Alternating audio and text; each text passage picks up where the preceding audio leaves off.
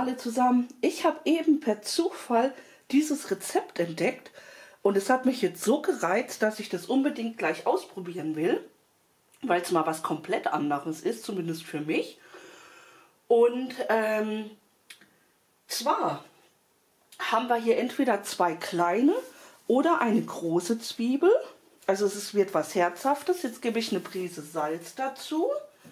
Der Ofen heizt auf 180 Grad Ober- und Unterhitze schon mal vor.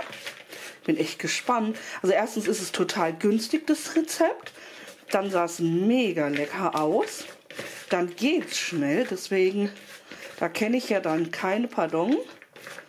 Da wird dann gleich mal probiert und getestet. Jetzt haben wir hier das ein bisschen mit dem Salz vermischt. Jetzt kommt einmal ein Ei dazu.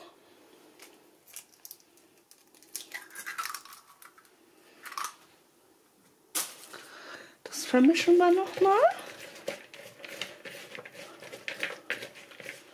Und wie ihr ja sehen könnt, die Zwiebel schon in große Stücke geschnitten, nicht so kleine Würfel in dem Falle.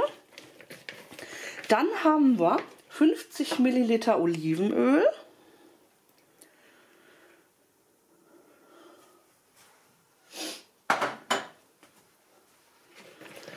Dann haben wir, dann geht es weiter, da haben wir auch schon alles, mit 60 Milliliter lauwarmem Wasser.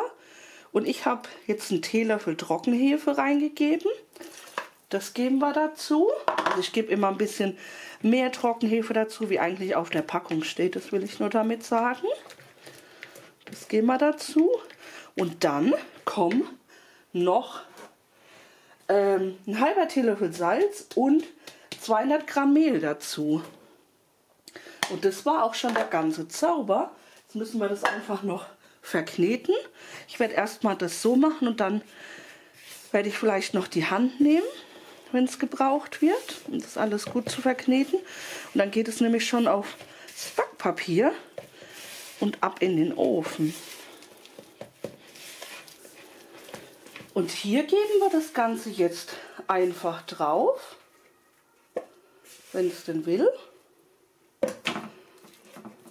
Und dann müssen wir das einfach noch ein bisschen flach drücken. Da werde ich jetzt schon die Hände nehmen, werde mir diese aber etwas nass machen, damit es nicht so klebt.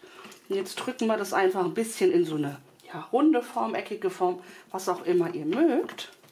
Und dann geht das Ganze auch schon ab in den Ofen. Und ich bin sehr gespannt. Ich werde das jetzt zu so einer Pizzaform. Ich habe es nochmal schnell rausgeholt, denn das stand nicht im Rezept dabei. Das war nur im Video zu sehen hat die Person wohl vergessen. Das wird nämlich noch mit dem Ei eingepinselt. Das machen wir jetzt noch schnell und dann geht es aber schon wieder ab in den Ofen.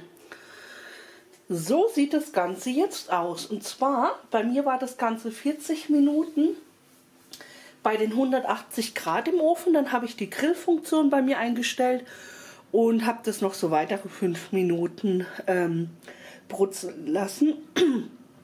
Wenn man das halt nicht hat, würde ich einfach die höchste ähm, Gradzahl einstellen und dann einfach gucken, wann man halt die gewünschte Bräune hat.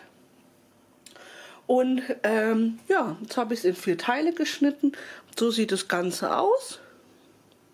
Und jetzt bin ich mal echt gespannt. Ich hoffe, es ist nicht zu heiß. Noch, noch zu heiß.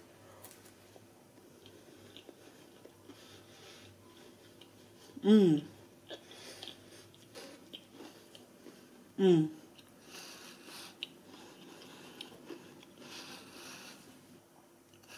Super lecker. Bei mir hätte sogar noch ein bisschen mehr Salz vertragen können. Ähm, ich würde es am ehesten warm essen. Ich kann jetzt nicht sagen, wie es schmeckt, wenn es kalt ist.